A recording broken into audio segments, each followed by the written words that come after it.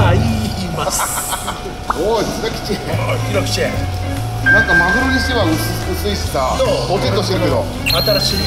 聞い。たらせっかくさほら塩さんに作ってもらったからさ新しい。ギターちょっと仕入れたんだけど違うだろうん違う赤マンボウ赤マンボウうん通称マンダイって言い。ますマンダイへえ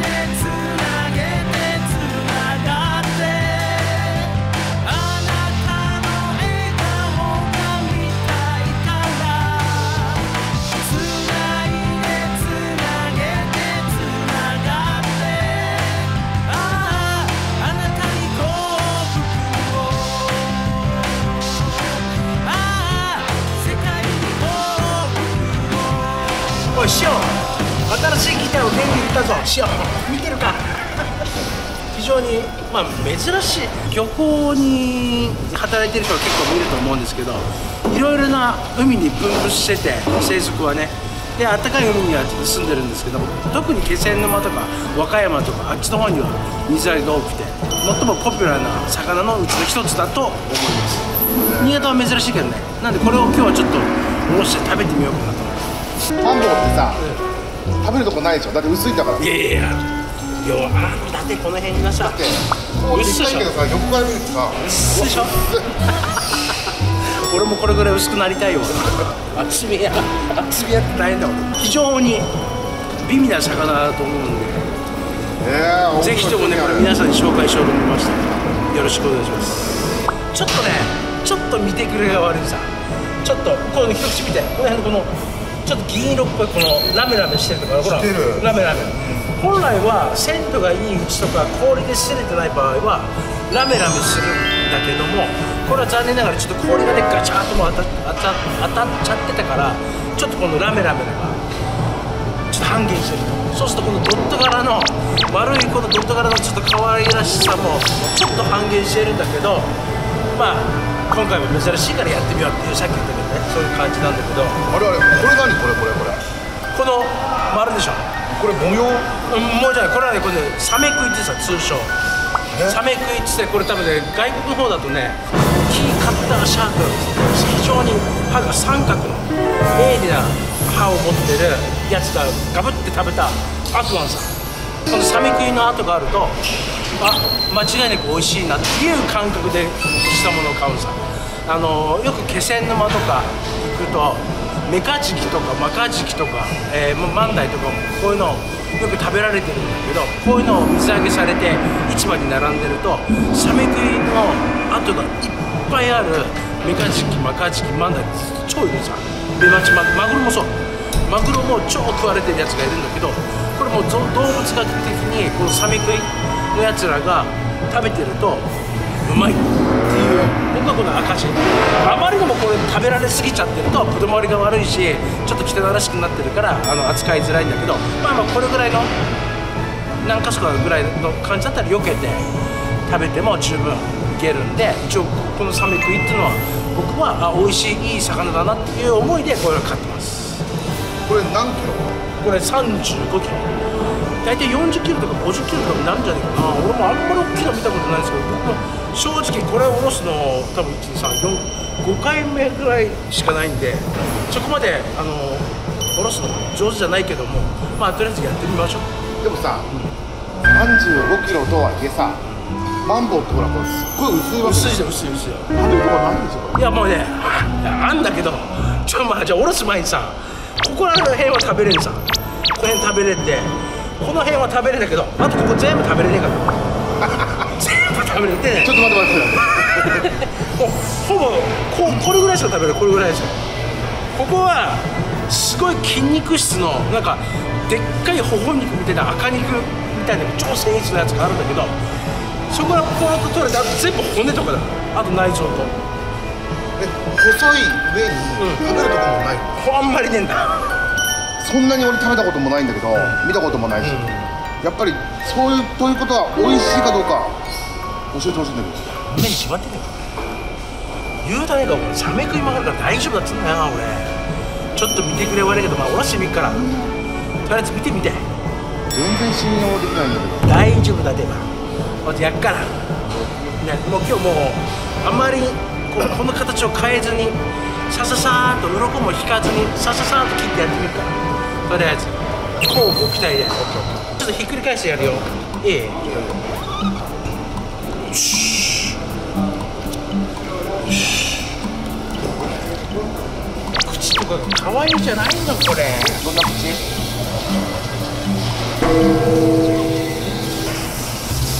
痛かったろうね。だいやでもあんまり魚たちがあんまりマグロもそうなんだけどメバチマグロ特にいっぱいついてんだけどあんま痛くねえっつうんだよな。しばらくくっついてこう泳いでる小判ザル。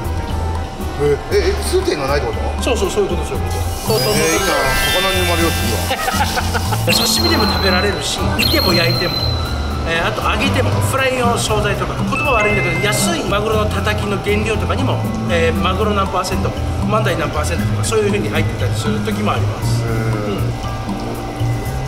俺も手探りなんだけどさ年間何本もこれ扱うのいや俺は扱わないほとんど20年間やって5回ぐらいしかないもんね触っていくとさ大体この辺買ってんですよこれぐらいだほら入ってくる包丁がスーッとこれ多分骨なのこう入ってるほらほらであとは多分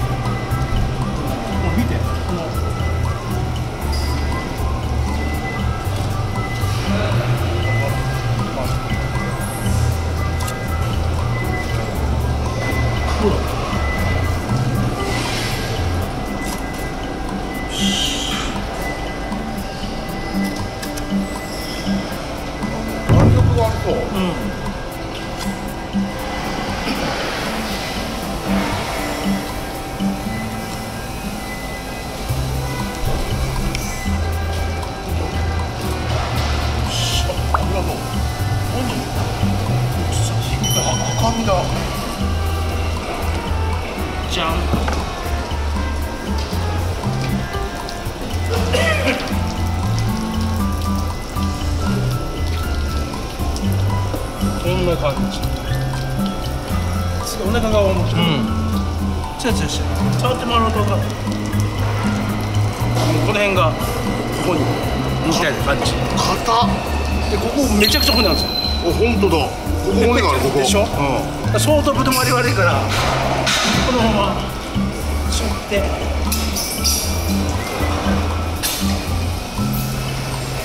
多分こんな感じで下ろしていけば下ろせるほらこれ油あるでしょほら本当だあすごい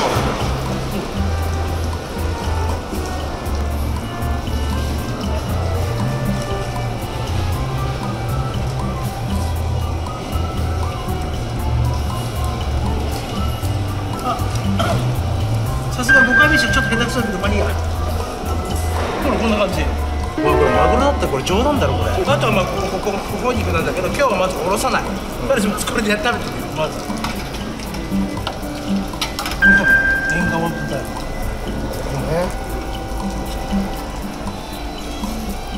なんかピカピカしてるよ、なかなかうまそうじゃねえか。まだ鮮度があります。よ何回も言うけど5回目だよ。でも誰か教えてください、えーこの万代のこといろいろなこと。ぜひともコメント欄でお願いいたします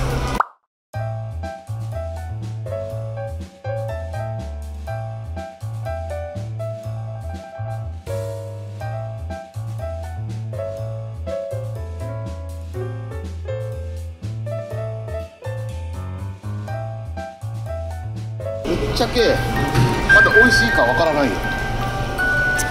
俺もね何年ぶりに食べますってでも多分ね美味しいと思う。多分。お腹の部分ね一番美味しそうな部分。背中なんか食っちゃダメだ。よあ腹の部分からもダメだ。で万代のこの縁側の部分。これ食べたくない？食べてみたい。これ縁側。これ絶対美味しいよ。これ絶対美味しいから。これもじゃあ切るからね。万代っていうんだね。うんまあ通称ねこれがさ果たして本当に切り方合ってるのかとかさちょっと分かんないんだけど。正式にはマンボウじゃない？赤まん赤まん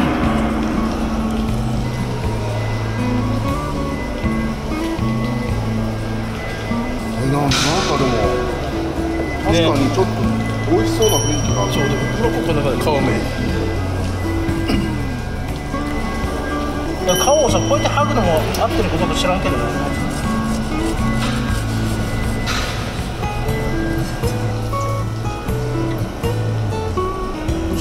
綺麗だよ今日みたいにもうちょっと包丁取れてくれるかなしましょう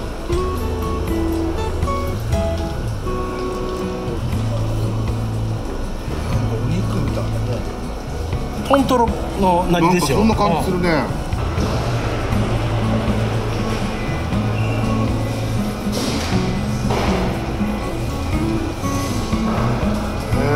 できないですね。ね触った感じやっぱりちょっと硬いな。あそう。うんマグロの刺身っぽくないね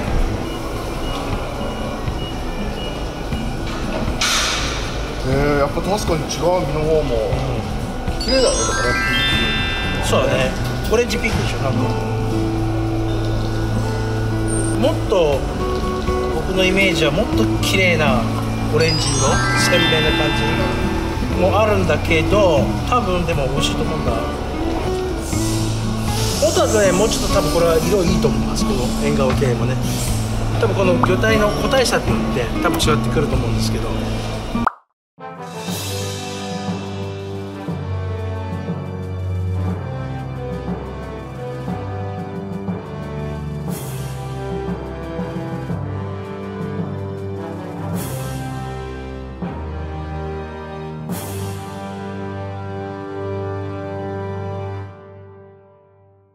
なんとか切り終わりました。じゃあこんな中で早速ね食べてみないとダメでしょと、いうことでまあおろしましたけど見ての通りやっぱりツヤがあるしね。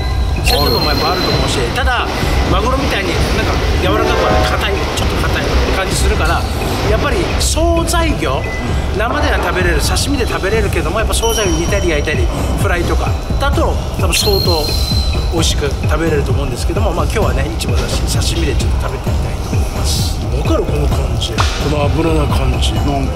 ピカピカしてるでしょ？うん私食べてみよう。いい。いただいてみます。醤油にも油が浮くわ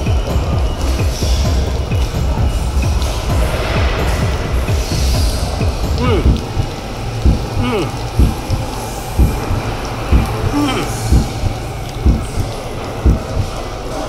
こんなもんかなと。歯応えはある。あるある。ある。主張はちゃんとしてる。もう一回食べる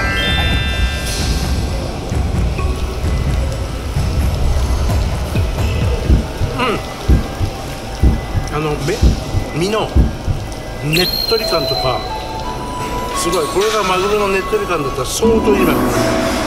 縁側っぽいとこまあね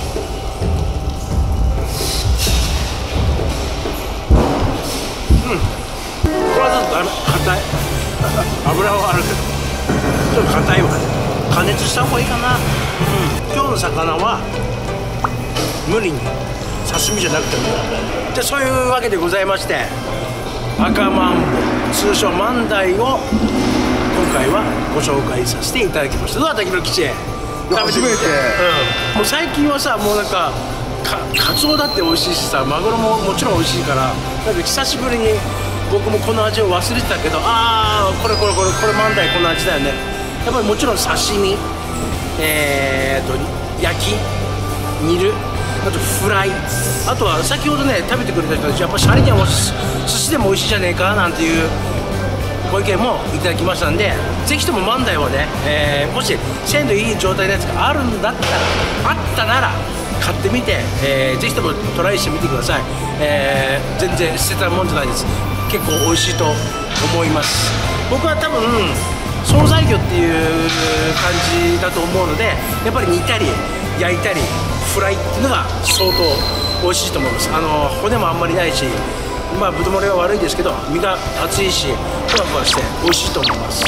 なんで今後も、まあ、こういった珍しい魚をねあればあの特集してみたいと思いますしもちろんね、えー旬の魚美味しい魚っていうのもあればどんどんどんどん紹介していきたいと思いますのでよろしくお願いいたします。じゃあ本日いい広口閉めていいよ大丈夫。ありがとうございました